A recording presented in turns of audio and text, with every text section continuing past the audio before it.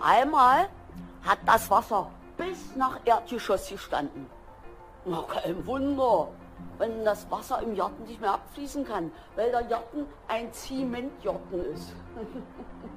Zementgarten. Das Wort hat mein Vater kreiert. Mit C wie Kalla oder Kalendula. Er hat es noch mitgekriegt, wie die seine Rosen ausgegraben und weggeschmissen haben. Hm. Dann ist er abends hin nach der Mülltonne und hat alles nochmal rausgeholt